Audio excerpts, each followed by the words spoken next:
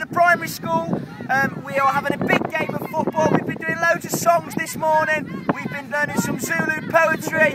Um, we've had a great time and we're now out playing football. This is an amazing school. It's got a great atmosphere um, and we're just having an awesome time here. It's our last school of our Nongoma 2010 trip and we're gutted that it's nearly all over but we're going to go out with a bang and have a great afternoon with these guys, yeah? Yeah! Hey!